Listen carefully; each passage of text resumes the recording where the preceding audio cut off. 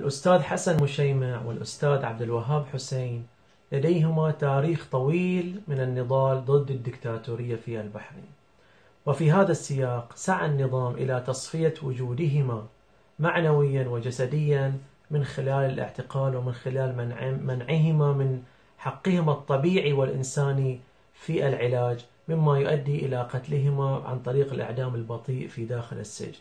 لذا ندعو الجميع إلى التضامن معهما بشتى الوسائل المشروعة من أجل نيلهما إلى الحرية أولا وإلى توفر العلاج الإنساني والطبيعي لهما إن شاء الله.